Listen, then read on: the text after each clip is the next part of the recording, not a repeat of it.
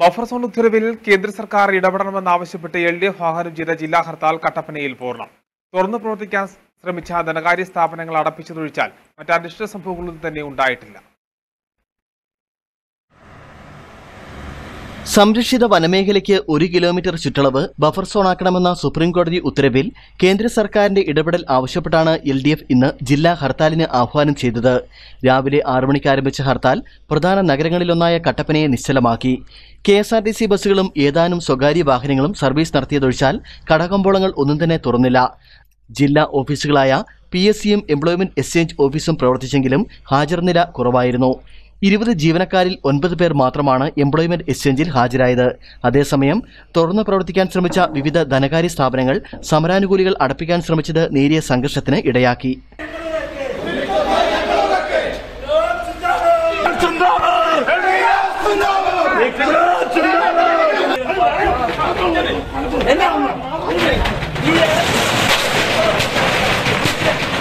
രാവിലെ മുതൽ തന്നെ സമരാനുകൂലികൾ നിരത്തുകളിൽ സജീവമായിരുന്നെങ്കിലും വാഹനങ്ങൾ തടഞ്ഞില്ല.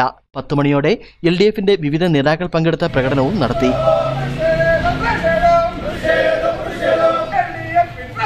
ഇടുക്കി അടക്കമുള്ള ജില്ലയിലെ കേരളത്തിലെ എം പിമാരടക്കം ശക്തമായി ഇടപെട്ടുകൊണ്ട് ഈ പ്രശ്നങ്ങൾ പരിഹരിക്കുവാൻ വേണ്ടി യോജിച്ച പ്രശ്നവുമാണ് നമ്മുടെ നാട്ടിൽ വളർന്നു വരേണ്ടത്.